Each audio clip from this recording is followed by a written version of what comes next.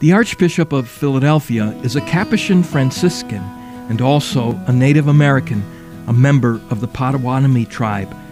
His name is Archbishop Charles Chaput. And so, when the first North American native person, Kateri Tekakwitha, whom we honor today, was canonized in 2012, he was excited, as was I.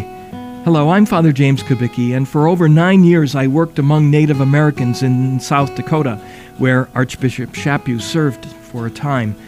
I'd like to share with you part of a homily he gave shortly after Kateri was canonized.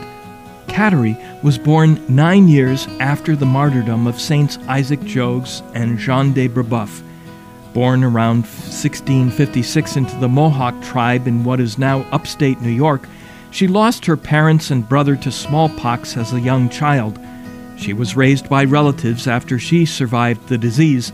Though it damaged her eyesight and left her permanently scarred, she declined to marry despite natural pressure from her family and through contacts with French Jesuit missionaries, she developed a love for Jesus. Despite strong resistance from her tribe and extended family, she was baptized in 1679, moved to a Christian community of Indians, where she studied the Catechism and helped minister to the poor and aged.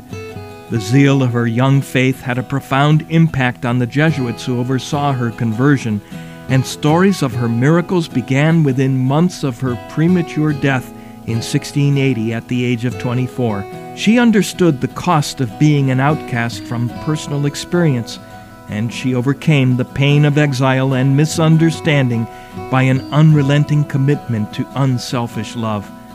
St. Kateri Tekakwitha, Lily of the Mohawks, pray for us.